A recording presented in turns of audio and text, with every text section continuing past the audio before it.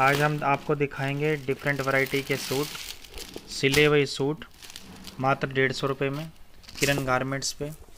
ये देखिए, आपको हम डिफरेंट टाइप के सूट दिखा रहे हैं। सिले हुए सूट हैं।